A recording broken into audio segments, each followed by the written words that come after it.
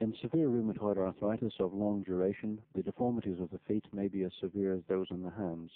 Here you see clawing of the toes and lateral deviation of the big toe. The subluxation of the MTP joints may result in callosities underneath the metatarsal heads.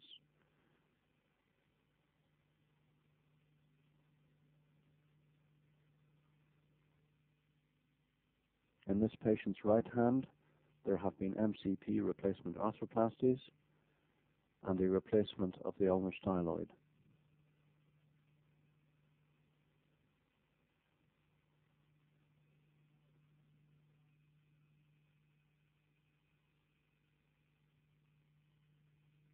There has been an arthrodesis of the thumb interphalangeal joint.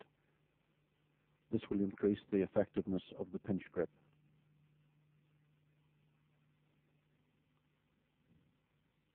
There is some stiffness of the wrist joint on the left, and loss of flexibility of the fingers means that a fist cannot properly be formed.